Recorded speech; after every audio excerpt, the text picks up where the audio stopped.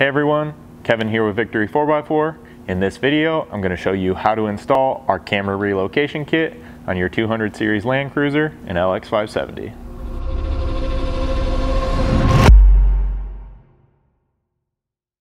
Now to get started, we're going to need to do some disassembly in the back of the vehicle so that we can access both this camera wiring as well as the routing path that we're going to take to get it to your carrier. Now we're going to begin by getting the seat out of the way so that we can access the trim behind it.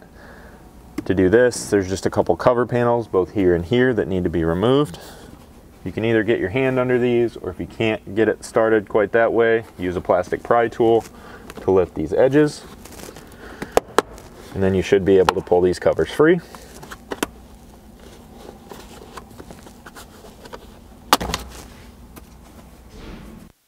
With those out of the way, you can remove the four mounting bolts holding this in place with a 14 millimeter socket.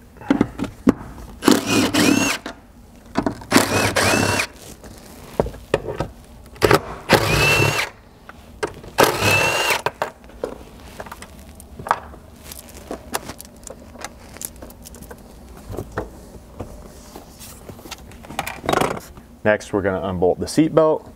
This bottom cover can simply be pulled off and then this top cover needs to kind of be pressed in and then it's going to flip up giving you access to both those bolts again using your 14 millimeter socket to remove those.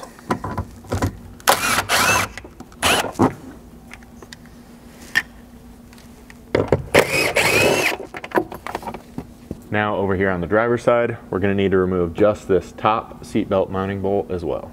Now, if you already have our MOLLE panels installed, you will need to remove these two bottom bolts just to let that hang.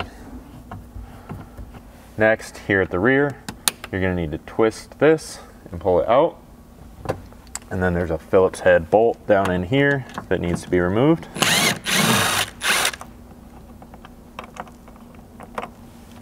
Now this cover can also be removed just to help you gain access for your wire routing. Then working overhead, this cover is going to need to come out. For that, I'm just going to use a plastic pry tool to get behind this forward edge, allowing me to pull down. And that's just held in with these plastic clips. Now we're going to need to remove this lower trim section. This is just held in with plastic clips. So pull up from one end and then kind of work your way across. And that should come free. Then here at the bottom of this trim section, there's gonna be one small clip that we uncovered removing that panel. You'll need to push in on the center and then pry up and that should pop right out. With that out of the way, working from down here as well as right in here, you can start to pop the clips free, holding this panel in place.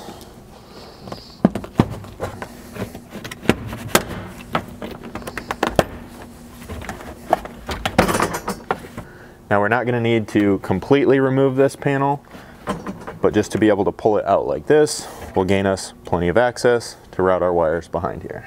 With this pulled out, we can do the same thing with this top section. However, this will come completely out of the vehicle.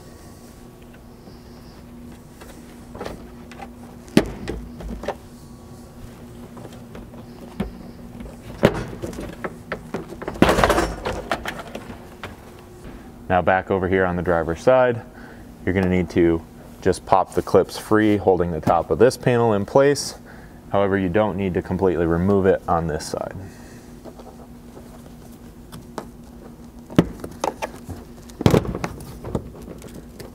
That should give you enough room that this headliner can drop down enough to route your wiring. Now at this point, the top of this headliner just has a couple blue plastic clips in behind here. But for those, you're gonna need to get your pry tool up over top Careful not to pull down on this too excessively. And you should be able to pop these free. Now at this point, if you're already equipped with our upper shelf, you're gonna need to remove that. If you're still just running factory grab handles, those are gonna need to come out as well, and that's gonna allow this headliner to drop down to route these wires. Next, we'll need to remove this hatch trim. We're gonna start up here at the top. This will just be held in with plastic clips. So you need to get behind an edge and pull this free.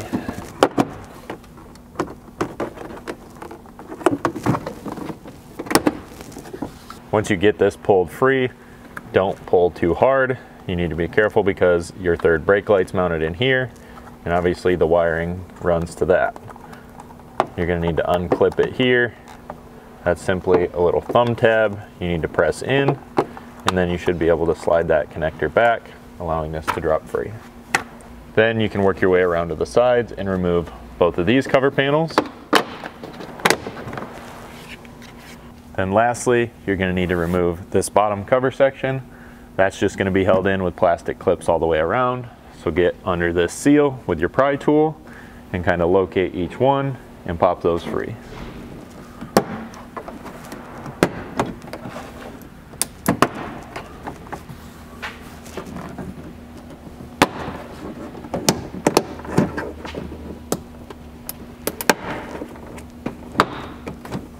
At this point, the camera can be removed from the hatch using a T30 Torx.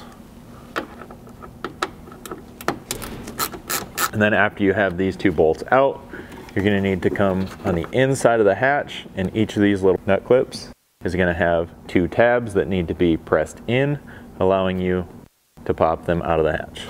Now once you get both of those clip nuts out, there's just a little thumb tab on this harness connection here. You'll need to press that down while pulling the harness back to release that camera. Now the camera can be removed from its mounting bracket for that, you just need a small Phillips head screwdriver, and there's two screws in the back of the camera holding it in place. You will want to save these screws because you'll use them to reinstall this camera into our bracket. Next, you can open up your camera bracket kit. Now in this kit, there's going to be a couple different mounting brackets. The reason for that is that kit's designed to fit a couple different vehicle models and year ranges.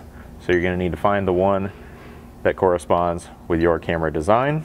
Make sure you're installing your camera into the bracket in the same orientation as it was mounted on the vehicle so that the top is still the top. And then you can reinstall that using the original factory Phillips head screws. Now with your camera installed, just so you can see how it goes, that will clamshell with the back half of this bracket and the plug will be inserted from the back later on, but you can set this assembly to the side for now. Next, we're gonna to need to pull this harness connection from the vehicle so that it can be used on the carrier. For this, we're just gonna need to cut these few sections of tape and pull back this loom so that we can expose the wire behind here. You're just gonna be pulling this back basically right to here where it tees in with the next section of wiring harness. Now, once this is all exposed, again, you're just gonna cut this back here as close to this harness section as possible. Now at this point, you're not gonna have to worry about covering up these ends or anything because as soon as we cut these up here at the body, those are just gonna be dead wires running inside of that loom, not doing anything. Now to make all these wires easier to work with, we're gonna recommend very carefully cutting back this white outer casing and removing it.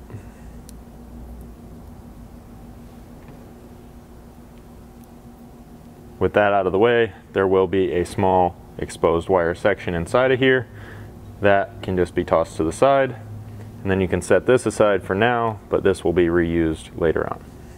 Next, up here at the body, in the top driver side corner, we're gonna have these three wire harness connectors that need to be unplugged. These are all just a single thumb tab style that needs to be depressed before sliding them out. Then with these three unplugged, we're also going to need to either remove the clip that holds the harness in place here or remove the harness from the clip. If you're having trouble getting the clip removed, it's just held, the harness is just held to this clip using black electrical tape that could be very carefully cut allowing you to free this harness up and then go back and access the clip afterward. Next, with these unplugged and the harness pulled partially out of the vehicle, you're gonna be looking for this gray connector. That's the one that houses all your camera wiring. Once you locate that, you're gonna need to, again, very carefully cut back this wire loom as far as possible so that we can tap into these using our new provided wires. Now that we have all this exposed, we're gonna be cutting a few of these wires. It's a good idea, just as a reference, to grab your camera harness at this time because you're gonna be looking for all the same color and size wires that run into this connector. So we're gonna begin by coming back as far as possible so we have as much length as possible to work with and cutting this green, white, red, and blue wire here.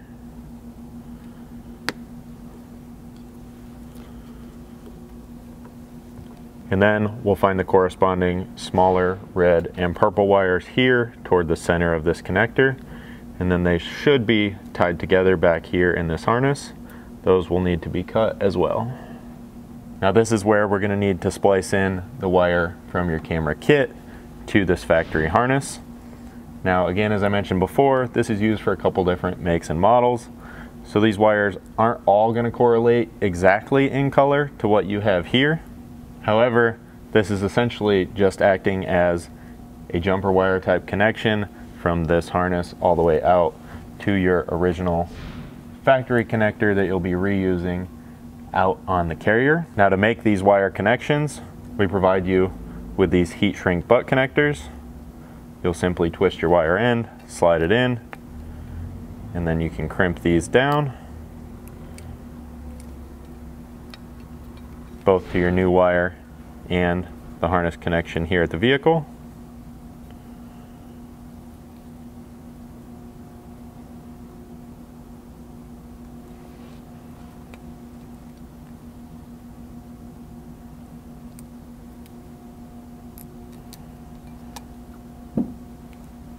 Always check these crimps to make sure they're secure. Then using our heat gun, we'll shrink this down so that it's a little bit more secure even and is weather tight. Now if you are having any trouble getting these to shrink down small on these smaller wires, while it's still a little bit warm, just lightly crimp the end where it meets the smaller wire with a pair of pliers while it cools, and that should seal up nicely. Now we're gonna do the same thing for the rest of these wires, and then we'll begin our wire routing. Now one more thing you can do here while you're making these connections is stagger these butt connectors. So more or less out here where you cut them, go ahead and put two and then come back up here just a little ways ahead of these two connectors. Do the same thing with the next two wires. That'll just keep this a little bit more low profile when we put everything back together, tape it up, and begin our routing. Once you've made all these connections, you'll want to go back and electrical tape all this up and tidy it back up up here as well, routing this similar to the way it was before, and then leaving your new wires to run out this direction. Now the last thing I'm gonna have you do before reconnecting this harness up at the vehicle is go through about every six inches and just put a wrap of tape to hold these wires nice and neat everywhere that it routes inside of the vehicle. With all that cleaned up, we can push this harness back in place and reconnect all three connectors.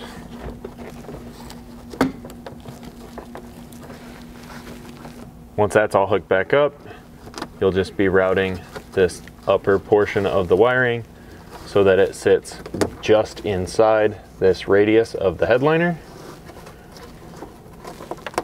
and comes out over here on the passenger side. You want to make sure that this stays behind this trim panel when it goes back in. And once you get over here, you're going to want to route these wires so that they're in the same cutout as this existing wiring harness. And then it's a good idea even to tape these in place or use a small cable tie here so that you're not pulling on the wiring that you just routed up above the headliner. Once that's done, you can begin routing these wires down alongside of the body following this existing wire harness loom. Again, just tape or wire tie this in place as you go. Now once you've followed as much of this harness down as possible, you should wind up in about this location on the passenger side rear floor area. You're going to be looking to locate this rubber grommet that has just one single harness running down through it now. Once you find that, we're going to need to make a new additional hole through that grommet to route your wires out. So for that, use a small knife, a pick, or in this case, I'm just using a small flat bladed screwdriver. That was able to make what should be a big enough hole to route these wires through.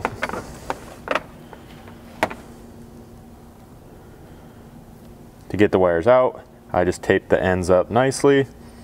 It may be helpful at this point if you have it to use a small piece of welding wire just to poke that through and be able to pull from on the bottom side, but this should get me through as well.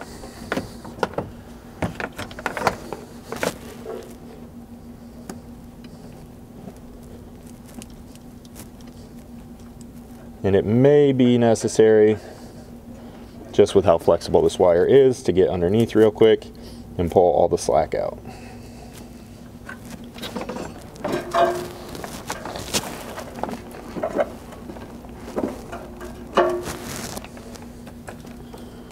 Then lastly, once you've got all that pulled out, go ahead and tie it to the nearest wire harness here one last time so that everything inside of the vehicle is safe and secure. Now that we've got our wires routed out of the vehicle, we're gonna add in two additional wires for a license plate light running up the carrier.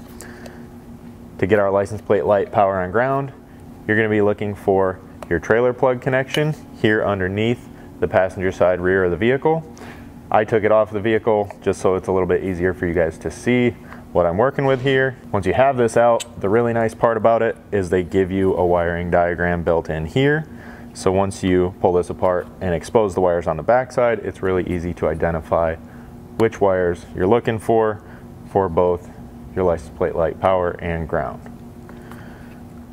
So to disassemble this, I'm just using a small flat screwdriver. You're gonna have a couple tabs that just need to be pressed in here on the back cover section. That'll allow this little clamshell piece to drop free. Now that we've got it exposed to this point, we can see all the wires here at the back.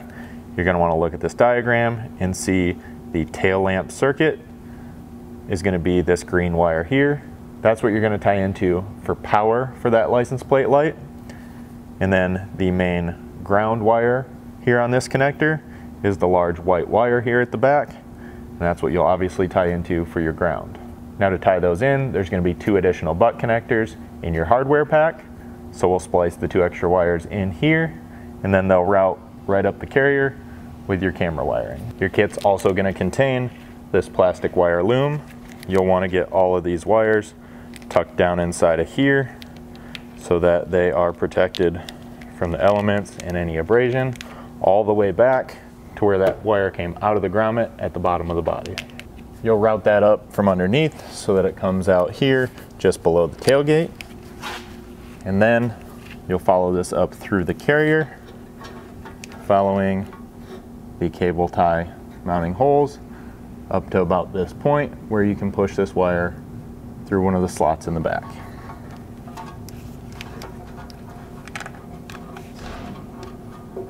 Now that we have our wire routed up here to the top of the carrier, we're gonna remove all this tape we had in place to be able to pull the wire.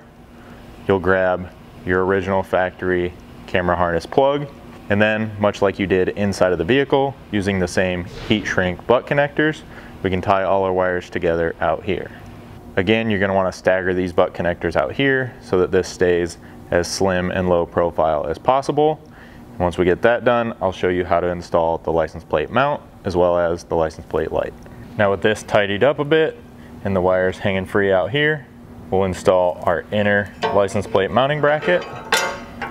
And then I'll get a tire bolted up here and show you how to finish this thing up. Next you can grab your license plate frame and your clamshell camera mount portion. The plate frame will install just like this with that small tab bent back right here underneath the camera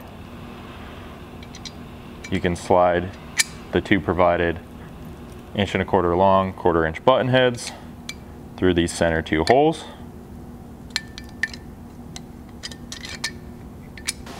And then we'll back that up with this plate frame mount and two serrated flange nuts. Once that's assembled, grab a 5 32 hex and tighten these two up. And then using the carriage bolt as well as the wing nut and lock washer provided in the kit, you can simply slide this in, drop that carriage bolt down from the top into the square hole, and then install the lock washer and wing nut from the bottom.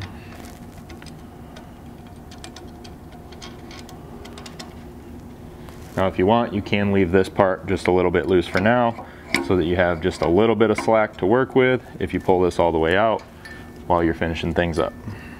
At this point, you can take your camera wiring harness and plug that in. And then you can grab the license plate light provided in the kit, remove the adhesive backer, and place that on the tab here on the license plate frame.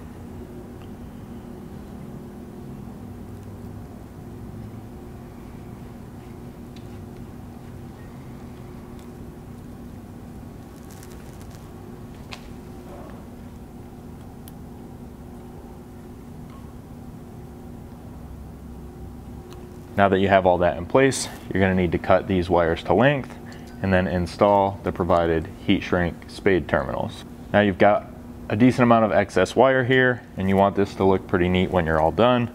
So you can cut these fairly short so that you can then plug the spades in here behind the camera and then tidy this all up with just a little bit more loom or electrical tape. Now when you're hooking these up, you want to note that the red is going to be for the power coming in on the light, so connect the corresponding wires appropriately there.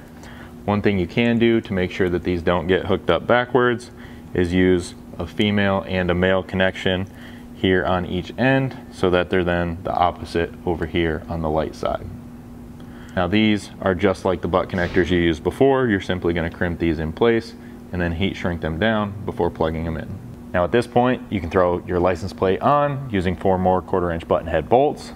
You wanna go ahead and turn the lights on on the vehicle to make sure your license plate light is working as well as throw it in reverse to check your backup camera. Once you do that, you just need to finish reassembling that interior and your install is complete. If you guys have any questions about this installation or any other product we offer here at Victory 4x4, go ahead and reach out to us. You can call us 269-459-8447 or email us info at victory4x4.com.